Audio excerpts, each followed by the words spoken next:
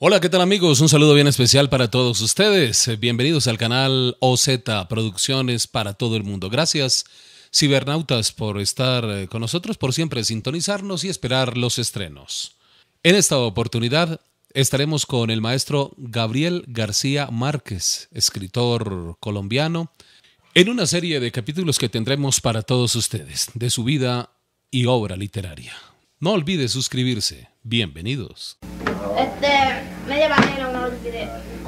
Media no olvidé.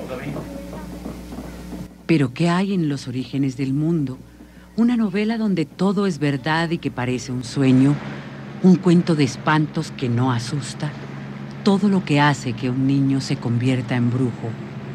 Déjese quieto, niño, deje de molestar. Porque usted sabe que las ánimas salen y se lo van a llevar. Al principio había un abuelo, Nicolás Márquez, el coronel. Al despertar del siglo, siendo un joven de buena familia, se enrola en la guerra de los mil días que desangra el país. El coronel tiene un amigo, un querido compañero de armas llamado Medardo Pacheco. Pero un asiago día de octubre de 1908, el coronel Márquez y Pacheco se retan a duelo. Es un asunto de honor.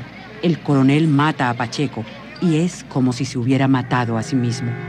Su pena es infinita. Abandona su pueblo natal por un caserío perdido al otro lado de la Sierra Nevada. Veinte años pasan. El coronel tiene una hija, Luisa, la luz de sus ojos. Ella se enamora perdidamente del telegrafista del pueblo.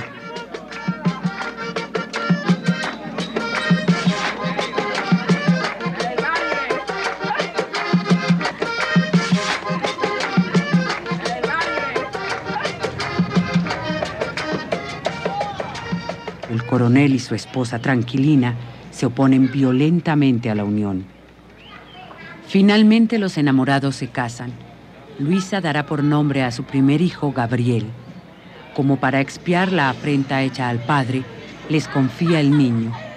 Hasta la edad de ocho años, García Márquez vivirá con sus abuelos maternos en Aracataca. Tranquilina y el coronel, junto a las innumerables mujeres que pueblan la casa, le describen sin cesar el mundo. Lo importante es que éramos los dos únicos hombres de una casa donde había muchísimas mujeres.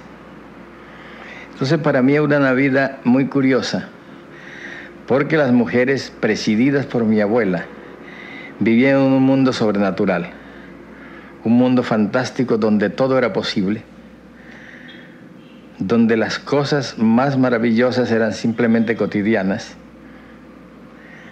Y yo me acostumbré a pensar así. Pero el abuelo era probablemente el ser más concreto que yo conocí. Y sus historias eran las historias de la guerra civil, las peripecias de la política. Y me hablaba a mí como si yo fuera un adulto. Entonces yo vivía repartido entre esos dos mundos. El del abuelo que era muy concreto y con el cual pasaba la mayor parte del día porque él me dedicaba muchas horas. Y el de las mujeres que era era un mundo que se compartía con el del abuelo, pero con el cual yo me quedaba solo de noche.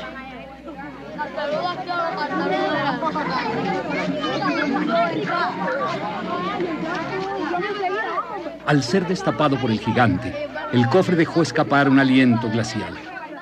Dentro solo había un enorme bloque transparente con infinitas agujas internas en las cuales se despedazaba en estrellas de colores la claridad del crepúsculo. Desconcertado, sabiendo que los niños esperaban una explicación inmediata, José Arcadio Buendía se atrevió a murmurar, es el diamante más grande del mundo. No, corrigió el gitano, es hielo.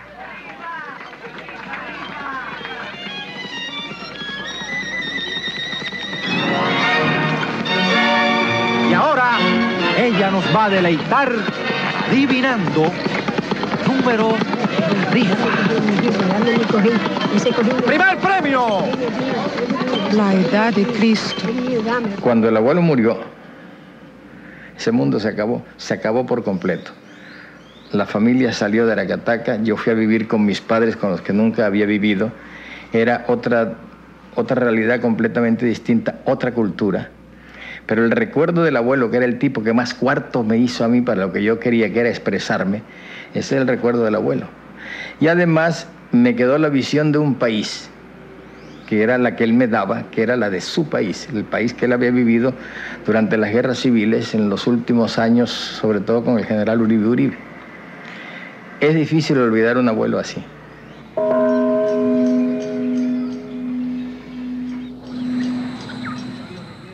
Gabriel José de la Concordia García Márquez, escritor, guionista, editor y periodista colombiano. En 1982 recibió el Premio Nobel de Literatura. Y en el canal OZ Producciones, su vida y obra literaria. Ya retornamos.